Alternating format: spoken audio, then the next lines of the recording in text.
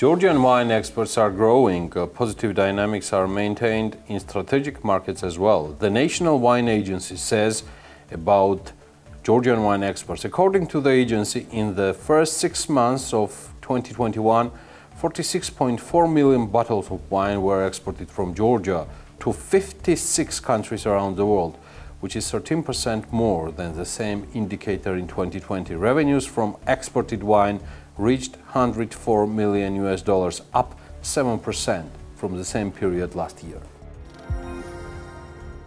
In July 2021, we returned 79% of the airlines that had operated in Georgia in 2019. We also returned 75% of those countries back with which we have direct traffic. Air traffic is restored with 72% of destinations and flight frequencies are back to normal by 74%. I would also like to say that Batumi International Airport has a 20% increase in July compared to 2019, said Mariam Kvrivishvili, Deputy Minister of Economy. The first cafe of Georgian brand Entre has opened in Notting Hill Gate 138 on July the 5th. Entre Group explains that Entre London is a part of international expansion which represents the third city after Tbilisi and Baku. Entre Group made an investment 1.3 million Great Britain pounds in London the brand plans to expand in Great Britain for the near future. The 15th building was opened at Lopota Lake Resort and Spa in Kakheti, such are the news from the general manager of the hotel, Maka Glighvashvili. According to her, the company has invested 7 million lari in opening a 51-room hotel. Today, the hotel complex has a total of 232 rooms and employs 250 people, although the hotel management still plans to develop further. This is the Checkpoints, anchored and co-authored by Elena Kvantgilashvili. And here I am, myself, I'm Georgi Isakadze, and we have gathered here in Forbes Georgia studio to tell you more about business and economics. 10 p.m. sharp, and here we are with more than just news. Some news are especially worth sharing, and one of them to me definitely is everything that concerns travel, flights, tourism, the most hard hit segments during the pandemic. So let me tell you in the very beginning of the program that German low cost airline Eurowings has started operating in Georgia and flies between Dusseldorf and Tbilisi twice a week, every Wednesday and Sunday. The first flight of Eurowings was completed on July 4, and it was was practically fully loaded with 172 passengers. The main question with this particular airline is why did it decide to start operating during the pandemic when negotiations began in 2017? Maria Madamia has details.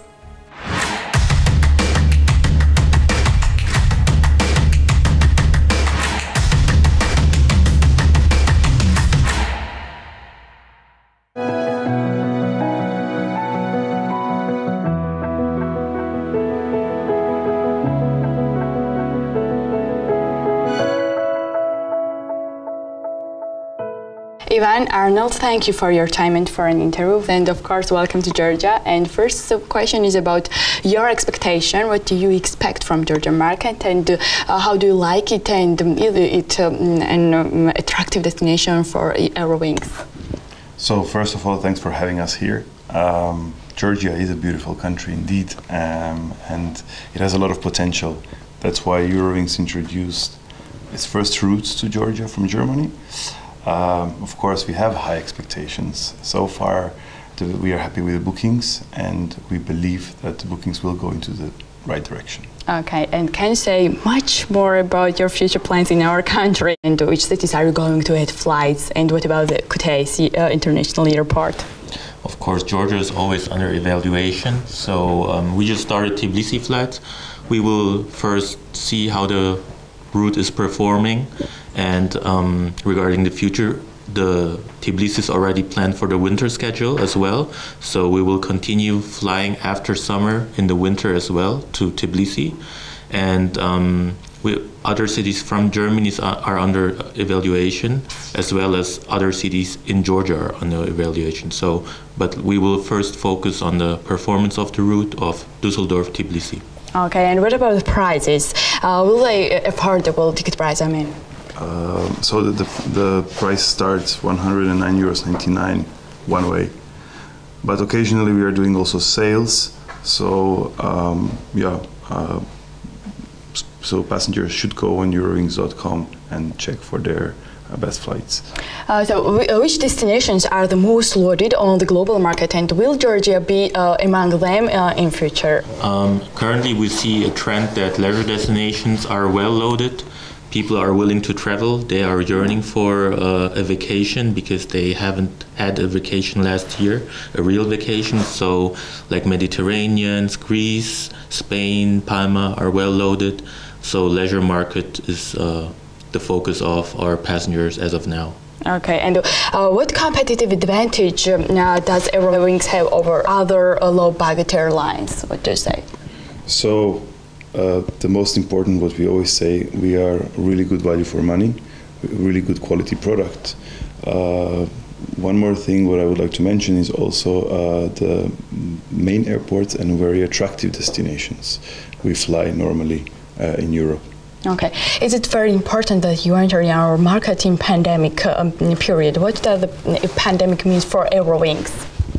The pandemic has been uh, an issue for the whole aviation industry, and um, we are happy that to enter a new market in Georgia, even though it's a pandemic, we are still in pandemic. There are still restrictions in Europe, but um, as we can see from for example, the first flight, the demand is there to fly to Georgia. Okay. And even uh, what are the main factors uh, you look at uh, before you con- um, consider expanding to a new country? So we are looking the the size of the country, the catchment areas. We are looking for uh, potential flows, the indirect passenger numbers. Um, so there are many many factors that we take into account but also the interest from, from tour operators, the interest from travelers as well. Um, we are combining all of these uh, indicators, and therefore we are um, this. We, we made a decision. Um, also, we were in talks with uh, with uh, the Ministry of, of Tourism of, of, Georgia, with United Airports of Georgia as well, with the airport operators, and uh, this was really long journey and we are happy that we are here and we finally started our flights so it's my first time in georgia yeah. and um, i'm amazed how beautiful the city is um, i will also tell of course my colleagues and friends about georgia about the beautiful city and the and the nice cuisine here in georgia mm-hmm, as well yeah. and um, people are very friendly so um, it's uh, it's great that you keep your uh, culture and your historical sites as it is. So yeah, it's a very beautiful city. We are planning to return as well, um, since it is a beautiful city, and since we are um, currently evaluating other possible destinations, mm. either from Germany or to Georgia. Thank you for your Thank time. You it was very important interview for us, for Forbes, and for Georgia Market. Thank you. Thank, Thank you very much.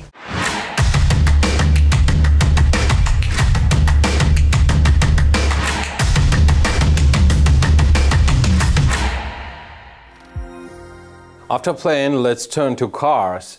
And after tourism to export, which was pretty hard hit as well, especially in the very beginning of the pandemic. In the first five months of 2021, cars constituted uh, the second export commodity of Georgia. In total, 165 million. $546,000 worth of cars were re-exported from Georgia in January-May. The report published by Galt & Taggart shows that the number of cars per thousand inhabitants in Georgia is 304. If we subtract the old, discarded cars, that number drops to 234. Now, Tatia Gagiashvili will tell us which brand and model of cars were especially in demand during the pandemic. Opel Vectra, Opel Astra, Mercedes and C-Class these cars are already history for our country since they have lost their popularity over the years.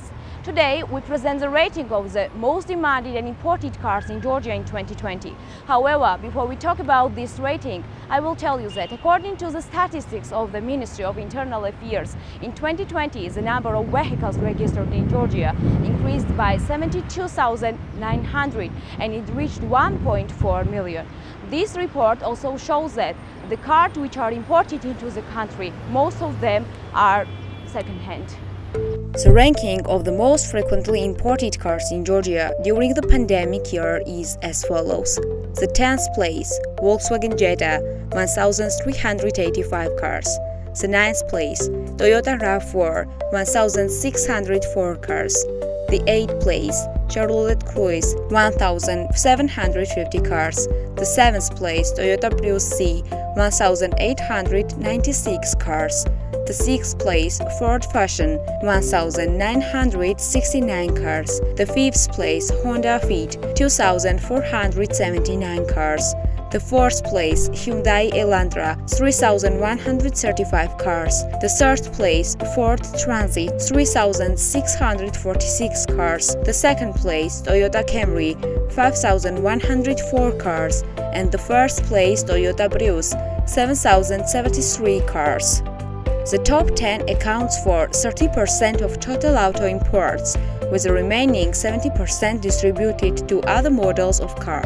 According to statistics, the main market for car import to Georgia is the United States, out of which 48,000 cars were imported in 2020.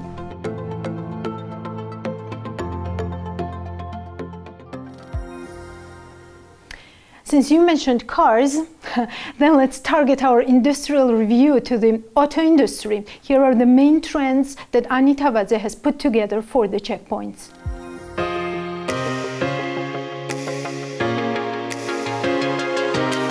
In January May 2021, the largest import commodity group was presented in the form of passenger cars, with imports amounting to $309.2 million, or 8.9% of total imports. In 2021, auto parks increased by 5% compared to the previous year, while imports of passenger cars increased by 5.1%. Top 5 imported car brands are Toyota, Ford, Mercedes Benz, Hyundai, and Honda. In Georgia, consumers mostly buy used cars. However, the revenues of the primary market and official dealers who sell cars to the corporate sector as well as citizens are also quite large. In 2019, the company's income from the sale of cars, services, and parts are Tegeta Motors Ltd, around 630 million lari, GT Group, around 270 million lari, Mercedes Benz Georgia, ACA Ltd, around 68 million lari. Iberia Business Group Ltd, around 67 million lari. Omega Motors Ltd, BMW, around 12 million lari. In addition to the pandemic, other global problems also proved to be a hindering factor for the auto industry in 2020. In particular, the problem of the production of semiconductor chips in world markets, which was caused by the increased demand for gadgets due to the pandemic, seemed to be a crucial issue. As a result, due to production gaps, there was a shortage of cars in the market. GT Motors, which combines Land Rover, Jaguar, Ford, and Suzuki cars in Georgia, notes that despite the challenges of 2020, some brands, such as Ford, saw a 100% increase last year as a result of the right marketing campaign. Moreover, it was last year that the company received the right to become a global important from Ford in Azerbaijan. However, there are problems in 2021 as well. Demand for cars in the market has increased, although it is in short supply. Lari exchange rate volatility has also led to rising prices. Due to global chip shortage, the supply of cars is quite difficult. Had it not been for the delivery problems this year, we would have gone up to 1,400 cars in Ford without any problems. We order cars, but they can't supply them. We have similar problems with Land Rover, Jaguar, and Suzuki. In 2019, we sold 400 cars of Land Rover and 36 Jaguars. In 2020, we sold 280 Land Rover cars, but 130 Jaguar cars. This year's 100 Land Rover cars have already been sold. I also suggest that if no more problems arise, we'll go up to 250 cars. Due to the shortcomings in the production supply chain, balancing the processes in such a way that customers didn't have a problem was the main priority for Tegeta Motors for years. The company was founded in 1995 and it is one of the largest players in the market. It combines Porsche, Mazda, Volvo, and Toyota brands. The lockdowns pushed for a shift to online sales. They managed to handle the pandemic challenges successfully, which had a positive impact on the 2020 results. By optimizing the processes, 2020 has finally been successfully completed. In 2020, the Georgian auto industry, specifically new car sales, experienced a decline of about 22%.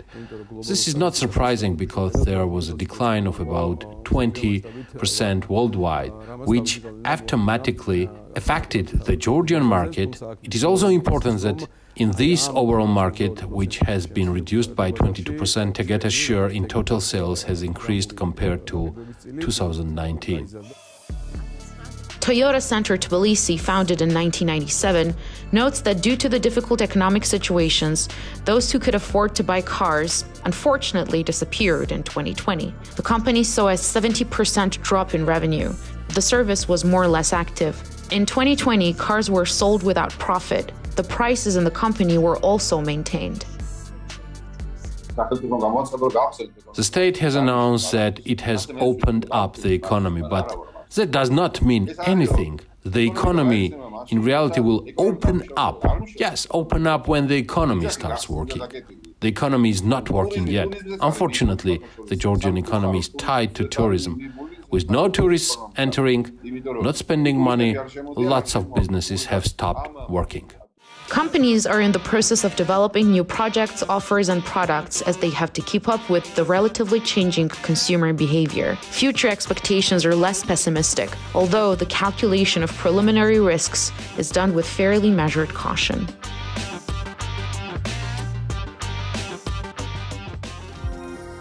Elena, I think we have to mention here that the car industry globally has been quite hard hit uh, by the pandemic due to the supply constraints uh, that it had to face because of the lockdowns and well, other constraints as well. Uh, yes, uh, Georgi, you're totally right. Uh, by the way, just before coming to the studio, I read uh, one global news on that, uh, mm-hmm. especially on trends of car sales uh, globally. And of course, our viewers and followers can read it on bm.ge in English. the COVID 19 pandemic was a global disruption across trade, finance, health, and education systems, businesses, and societies like few others in the past hundred years. Indeed, if we look at findings of numerous studies conducted by EY, McKinsey, Deloitte, and others globally, we can draw some very distinct conclusions. Georgi, let me highlight some with a focus on global supply chains. This is because still from outlook to outlook, the fact that global supply chains are disrupted plays a role not only on inflation and economic growth, but also in determining future already post-pandemic policies. The first risk we heard after the COVID 19 breakout was that it would pose significant challenges for supply chains globally. To this day, multiple national lockdowns continue to slow or even temporarily stop the flow of raw materials and finished goods, disrupting manufacturing as a result. But how does that affect specifically Georgia and whether or not its impact is a bit exaggerated, not only locally but globally as well? First, we asked Asian Development Bank in May 2021. You may remember at the outset of the crisis, there were concerns worldwide uh, that this could have a, a very um, uh, sweeping effect on, on food supply, disrupting food supply for, for many countries. Uh, that didn't uh, turn out to be the case, certainly not to the extent that was, was feared, um, and certainly was not the case for, uh, for Georgia. Despite this, ADB strongly advises Georgia to develop its agriculture sector, the sector that in Georgia is definitely the one with one of the highest subsidies support from the state budget in different forms and through different tools and facilities. However, there is always the threat of, um, of uh, uh, other countries' policies, for example, restricting exports, uh, which could have uh, an impact on, on countries like Georgia going forward. So, so this is this is the uh, point that we were trying to to flag, and and we think that the pandemic situation, you know, it exposed more generally risks, a set of risks um, around over reliance on certain sectors. We've talked a lot about tourism, for example, mm-hmm. and uh, I would return again to the agriculture sector as being a very good example of a sector that uh, could be developed to bring more resilience Yes, the pandemic has not necessarily created any new challenges for supply chains. In some areas, it just brought to light previously unseen problems like the lack of diversification of the economy. So then we asked European Bank for Reconstruction and Development in July 2021 to give us specific examples of how disruptions work to this day. For example, yeah. there, there are significant uh, shortages of uh, production of chips uh, uh in uh, global uh, terms.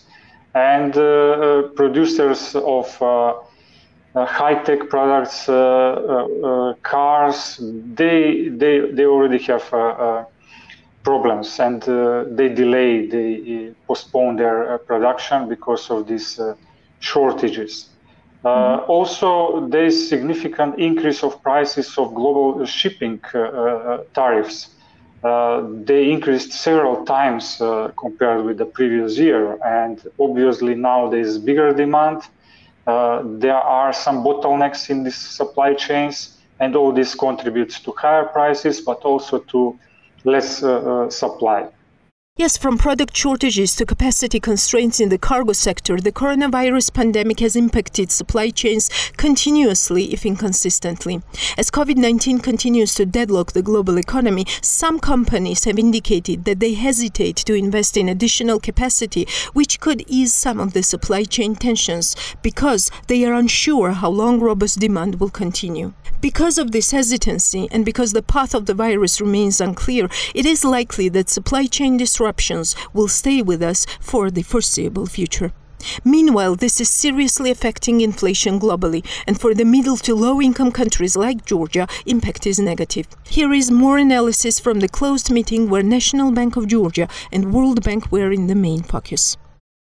My question concerns uh, supply chain disruptions because we uh, we hear this argument from Outlook to to outlook. From from this uh, standpoint and this question goes uh, both to the world bank and also to the uh, to mr governor here. Uh, from this standpoint would you say that it was uh, this threat was a little bit uh, exaggerated. To our opinion, to our assessment, uh, uh, supply disruptions have had uh, a really big impact on the situation and uh, in this case on uh, inflation as well curfew time yeah. I mean you the people cannot uh, operate as they cannot uh, work uh, after nine o'clock for example as it was a case in georgia. But at the same time some products need to be delivered uh, in goods uh, and, and market in, in, markets for example and there should be people who need to be work working in those markets right? So but someone needs to pay for these additional expenditures. So i mean all this kind of this anecdotal evidence right? But these are all the things things which are um, then contributing to uh, reflecting this into prices, and then prices are increasing. There is no question. Uh, we saw uh, supply chains came under pressure, especially in the context of certain goods and certain sectors. Um, there were different reasons for that. Uh, the, the, honorable governor mentioned that uh, you had basically uh, lockdown measures that resulted in uh, production disruptions and that led to disruptions in the context of global supply chains as well as, of course, domestic supply chains. Um, we saw that uh, course, the incident in the in Suez Canal uh, led to uh, you know additional complexities, and those complexities in some cases uh, are still with us. Nowadays, uh, of course, we are worried about uh, supply disruptions in the context of vaccines. We think that there is ample vaccine available, especially in advanced economies. They can do more in terms of donating these to emerging developing economies. But the donating is one thing. You need to take the vaccines to these economies and distribute within the country. In some countries, uh, distribution systems are available. In some other countries, unfortunately, they are underdeveloped. Those types of distribution systems are not available. The bank uh, has been uh, very active, especially in the context of uh, low-income countries, uh, providing financial, operational, and analytical support to improve the distribution of vaccines. Overall, we can say that COVID 19 still has accelerated and magnified problems that already existed in the supply chain. EBRD tells Georgia this could much be an opportunity and not only a challenge for Georgia. There are opportunities, especially after the pandemic. We see that the European Union is now talking and starting to do something in moving the global supply chains closer to Europe this could be a chance, not just for Georgia, but for many countries in the uh, EU neighborhood. And to achieve, uh, to, to benefit from this, obviously uh, uh many things should be done, but uh, this should be uh, very high on the radar. And this is something that could be a great opportunity for Georgia to increase its exports, to reduce uh, external deficits, and not to be so reliant on external finance. One thing is clear, when the COVID-19 subsides, the world is going to look noticeably different. The challenge for companies then will be to make their supply chains more resilient without weakening their competitiveness. To meet that challenge, managers should first understand their vulnerabilities and then consider a number of steps, some of which they should have taken long before the pandemic struck. I think countries should do the same. 30 plus countries, 104 partner banks, 730 and more and more offers, 35.5 uh, billion euro assets invested, 355,000 customers, eight marketplaces. These are just the main figures of Raisin. It was my privilege to interview CEO and founder of uh, Raisin, Dr. Tamaz Georgadze, Georgian. In this exclusive interview with the checkpoints, our viewers and followers will get to know this very talented businessman and his business results and plans closer. So, uh, Patron Tamaz, Mr. Georgadze, thank you so much for your time. I know how busy you are, and uh, thank you for having us for a, such a short note. Uh, to we, we, we just uh, we just uh, went across of this issue because of Swiss, as far as I remember, the article coming from the Swiss news sources about uh, Raisin and deposit solution merge. So it was, I think, by the end of June, as far as I remember, which was officially announced. Maybe it was a bit late while we checked it out, but congrats with uh, merging.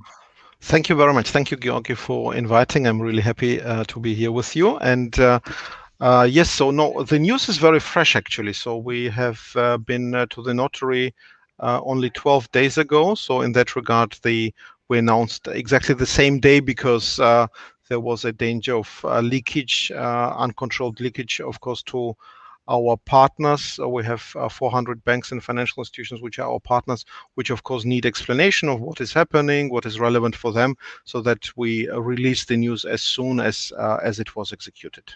Uh, there, was, there was some sort of comment when you mean uh, notary and the registering you mean commercial register which was also needed just to finalize the deal of merge uh, no, commercial registry didn't happen yet. So mm-hmm. um, uh, what what happens is that uh, the um, uh, actually signing uh, of the uh, agreement happened. There are no further closing conditions. So there is only formality of entering the new okay. name and the shareholding structure into the commercial registry. That's the only outstanding point. But it's a formality also um, having to do with POAs of different shareholders uh, mm-hmm. arriving in original. So uh, that is the only formality outstanding. Uh, it, it's already confirmed that it's definitely going to be under the new brand Raisin DS. Yes, so um, the uh, company name will be changed uh, effective that date to Raisin DS uh, GmbH. So what we also said at the same time is uh, there is no change for the customers. So we have customers under multiple brands. So uh, Raisin itself is uh, a German brand called Weltsparen. then there are Raisin brands in Europe.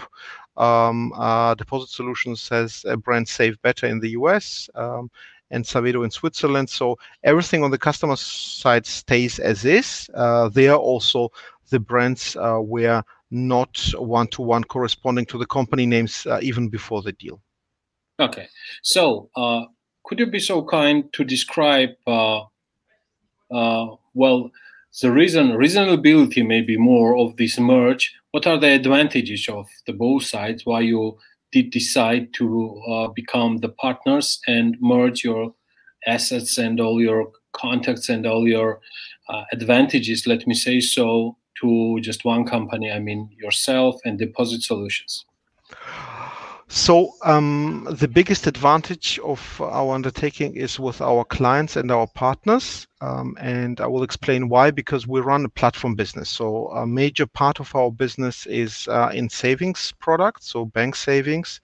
And as in any platform business, the offering is as good as the number of products and offerings and varieties we're offering. So combined, we have 170 banks uh, receiving uh, savings products and deposits through us.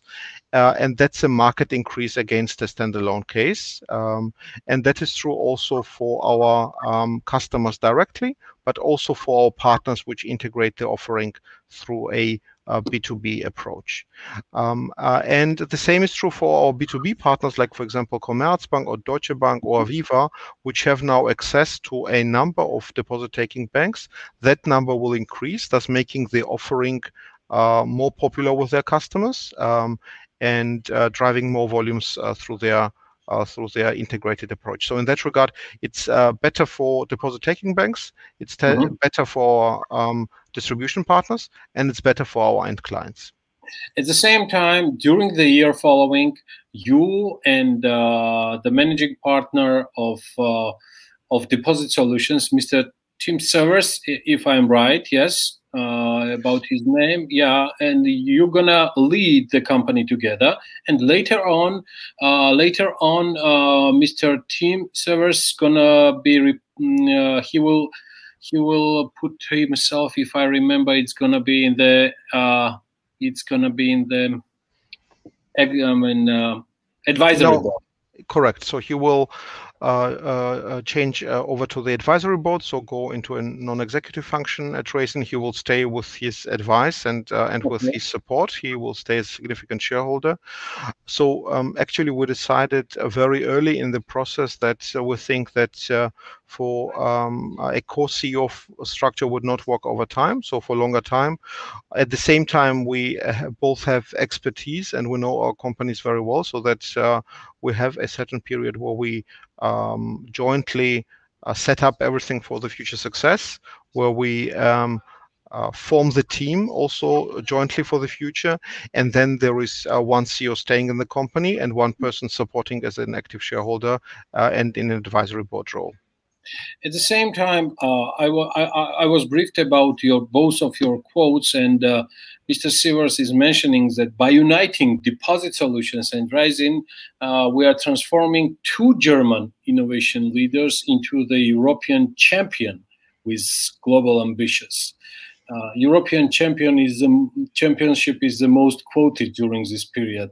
Tamaz, you are very much aware of it. And so, what is the ambitions of Raisin DS? So unfortunately, Germany is out. So in that regard, uh, um, uh, it, the analogy might not be uh, a perfect one. Uh, but um, I think what is true is the company, uh, the United company, is one of the largest companies uh, on many dimensions. largest fintechs in the continental Europe. We have more than 600 employees in total.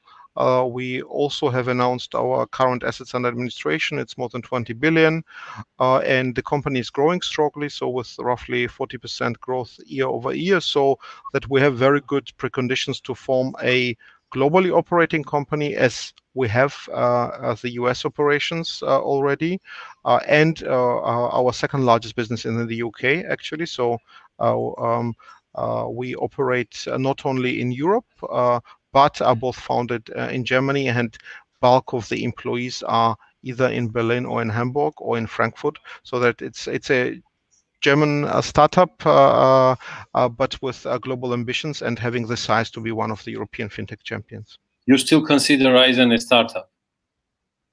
Yes, I like I, I love working at startups. I think that's probably a self-deception. Uh, so mm. uh, we're definitely not a corporate, uh, and I think the culture is more startup-like than a large corporate or a mid mid cap company. Okay, then what's the next step? Uh, what's the next step for Raisin DS already? So, what is in the pipe? Um, so um, we, um, of course, I think the uh, what I mentioned, uh, the major objective of uh, this merger being uh, making the product better. So the good thing is our full focus now is exactly on that uh, because I think uh, a lot of our energy went into competitive bids, into um, uh, making the feature parity between the both products. Uh, and now we can concentrate on uh, on standalone the product development, which means uh, bringing new partners to new markets, which means uh, making the product features better, which means also rolling out our investment and pension solutions to more countries, and also, of course, investing significantly into the development of our still very young US uh, business. so um, that will be uh, the business focus uh, uh, in the coming uh, month. Uh, and uh, we think that we have all preconditions. We have a great team. so this is like actually the most amazing part of it is I didn't know half of the company just 12 days ago, and every person I learn is is a positive surprise. and and that's, that's that's impressive yeah so i think uh, i think we have all preconditions uh, to to make this a big and significant success also for for the european economy Thank you so much. And uh, just for you to know, we're so much proud of you and good luck to Raisin DS. Thank you very much, Georgi. Georgi, this is the most right time to tease in the new July edition of Forbes Georgia, which is loaded with diverse information, interviews, thought leader analysis, leaderboards, and much, much more. 60 million gal attractive investment, more than 627,000 registered users, 89 international partners, 354 jobs created, 4,400 B2B users. Beyond the impressive statistics are the Bank of Georgia's greatest efforts and specific names. The most prominent of these are the four winners who will travel to Silicon Valley. So think like a startup and read Forbes Georgia. So in the new July issue, you will read. Empty stadiums, shortened seasons, inflated playoffs, and a year of record pay. Conor McGregor opens the top 10 highest paid athletes in the world with $22 million in sports and $158 million outside sports. You will find the rating of the Million Dollar Club in the July issue. Against the backdrop of the recently intensified demand for state owned enterprise reform, Forbes Georgia presents a ranking of state owned enterprises. You will get answers as to which among them are the most profitable and unprofitable. Traditionally, the lineup continues in the 30 under 30 section. You will be introduced to all six categories, each one with a winner. In the July issue, you will also read about vaccination bubbles and the illusion of success. What does behavioral science tell us? Tinatin Stambolishvili answers the question. Is the future of Georgian education sector and economy foreign students? Soso Berikashvili shares his opinion. What is the growth rate of the Georgian economy and construction sector, as well as the effects of the pandemic? As per usual, Beso Namchavadze analyzes one of the most important sectors and the number of employees. In addition, we will inform you about the unforeseen dangers of Anagli Airport. Uh, we will review the world news and travel to the past, the Kinto subculture and their place in the old Tbilisi life and economy. So read Forbes, a century-old guide to business and economic affairs.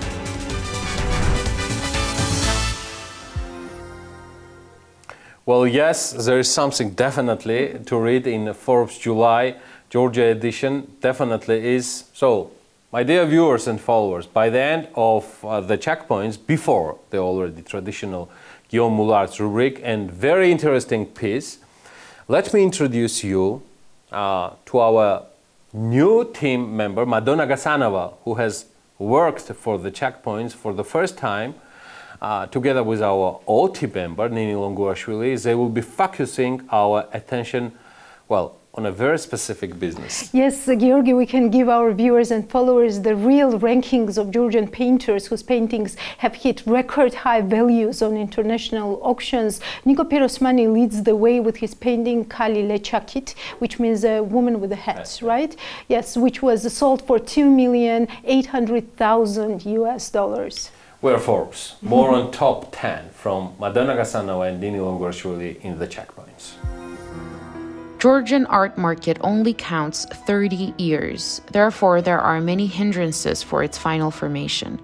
The top 10 of the most expensive Georgian artists were compiled based on the trade results of international auctions. Niko Pirosmani is at the top of the list. In general, the top priced deal for Georgian artists on auctions has amounted to $2,800,000. This is the cost for the painting of Pirosmani, Georgian woman wearing a lechaki, sold in 2018. It is not surprising that Kirill Zdanevich follows Pirosmani. He is a very important artist of the 20th century who discovered Pirosmani, and it seems like their destinies have become tightly entwined. Zdanevich's artwork Dukani was sold for $2,500,000. The third is Lado Gudiashvili with $1,500,000 for his work by the Black Stream. All the listed works were sold at the international auctions. David Kakabadze, which is the fourth in the ranking, has a comparatively low price. However, the reason for this is that the works of Kakabadze are quite limited to private collections, so obtaining his work for auctions is quite difficult. This factor is one of the obstacles to re-evaluation. Number 5 is Merab Abramishvili. His paintings have been traded on international auctions for almost six years. Abramishvili is one of the most prominent Georgian artists whose works are presented at various auctions with prices growing from year to year. The highest cost for his work has reached $80,000. It is noteworthy that the cost of Abramishvili's works in Georgia are much higher. We should mention several artists' works, the cost of which varies from each other. This is Natela Iankoshvili, with $50,000 for one artwork and $19,000 for the other. I really regret to see that the highest price of prominent Georgian artist Eleni Akhvlediani's work, Street of Paris, only amounted to $39,000 on the auction. She used to live in Paris together with Gudiashvili, Kakabadze, and Ketevan Magalashvili. The figure for Akhvlediani's works varies from $50,000 to $100,000 in Georgia. Artworks of modern Georgian artists like Niniko Morbedadze started to be sold at Phillips auctions two years ago. The cost of her works is between $20,000 to $31,000. For the recent two years, we're witnessing a growth of the price index for Alexandre Banzeladze. Georgian artists are quite popular abroad. Some foreigners seek to have collections of Georgian painters, those Georgians that are established abroad and selling works at the place. These artists also frequently come to Georgia, and their paintings are purchased by local collectors. Both investment purpose and love of art are the main contributors to the purchase of these paintings. In the case of the second purpose, the cost of the work is less important for purchasers and they only choose works pursuant to their taste. The success of an artist is caused by different reasons. It is important to determine the level of professionalism of painters. Art business has its rules, required regulations, and infrastructure. So, if a talented artist is lucky to cooperate with a good art dealer or a gallerist, their tandem and collaboration will bring good results. This particular cooperation is fundamental for the international art market. The beginner collectors shall have proper consultations from art specialists who will introduce to important issues like the technological side of art, which artworks to purchase, which frame or color should be used in painting, and other topics because any artwork is changing from time to time and gets affected by climate, time, and other factors. So maintaining its prior form and good condition is quite important. The impact of the pandemic on our business was so positive that we do not even consider returning to the pre pandemic level. For many people, art has become a space of psychological survival during such a difficult time as the pandemic. Consequently, too many collectors appeared during the pandemic. Well, it seems to me this is all for today, but you know that uh, you don't have to go anywhere yet. Yomulart will be telling you a very interesting story. Well, actually, two stories in just a bit. And you also know um, to follow us on bm.ge and forbes.ge till Sunday. Thank you.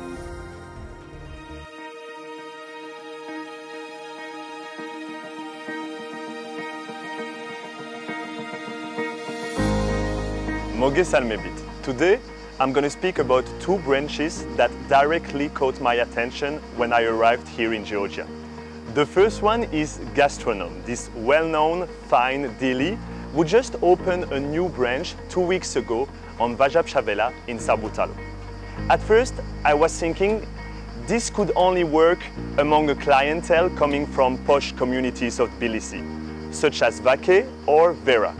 Indeed, how can Georgians afford to pay fine products sometimes three times more than in Western Europe, for example? Then I realized that Gastronom was expanding more and more, constantly opening new shops all over Tbilisi. An impressive fact, especially in this pandemic period. How are they finding their products? Are they dealing directly with the producer or with an intermediary? What is the average margin? Who is their typical customer? A whole question that I'm going to ask to Georgi Tenadze, founder and owner of Gastronom.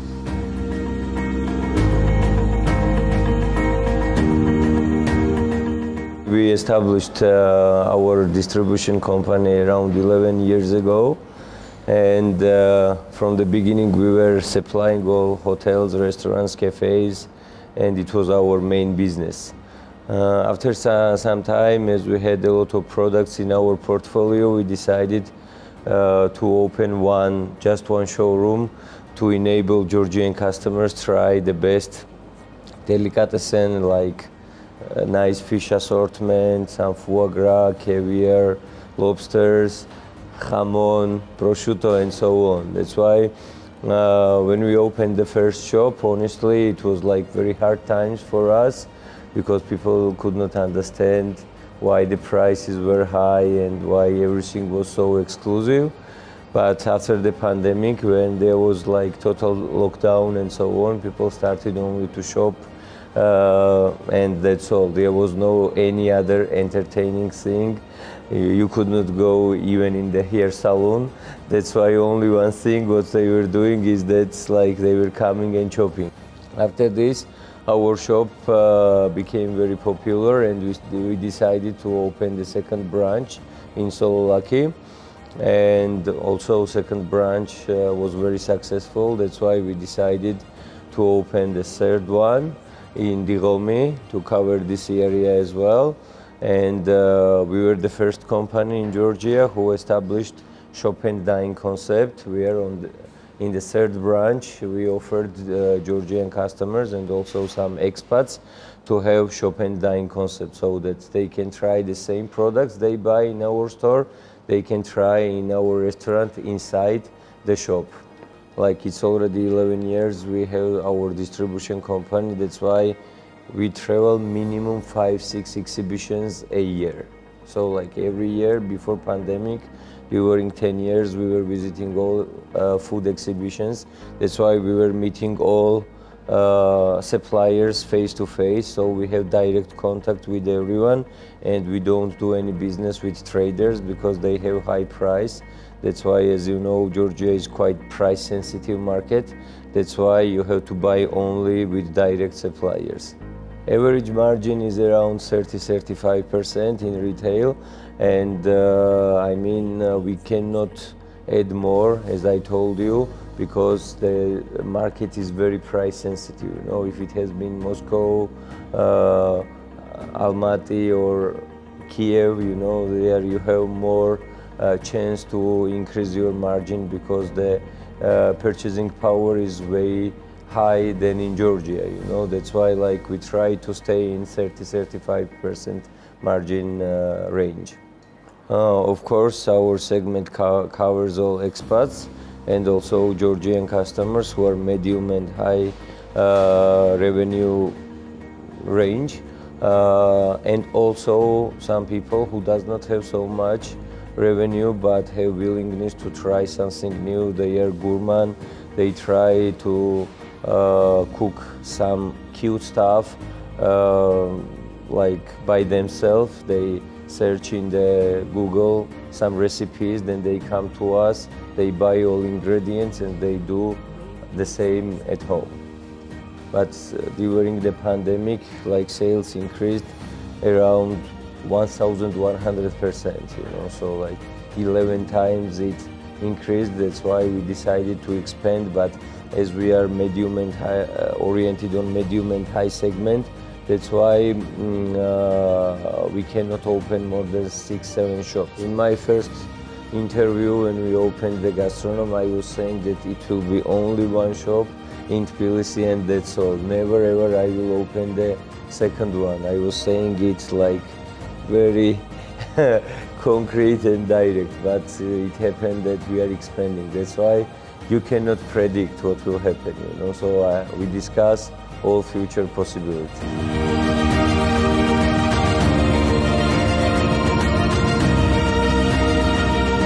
Another place that caught my attention at the very beginning is this luxury setting located in the heart of Tbilisi. Morislav, reminding the kind of small boutiques you can easily find in Paris, London or Antwerp, for example, is clearly the place of fashion and design of the Georgian capital. How Nino Eliava and her business partner Anna Mokia succeeded to establish themselves as a benchmark of the luxury industry in Georgia in such a short time. We are going to meet them together now.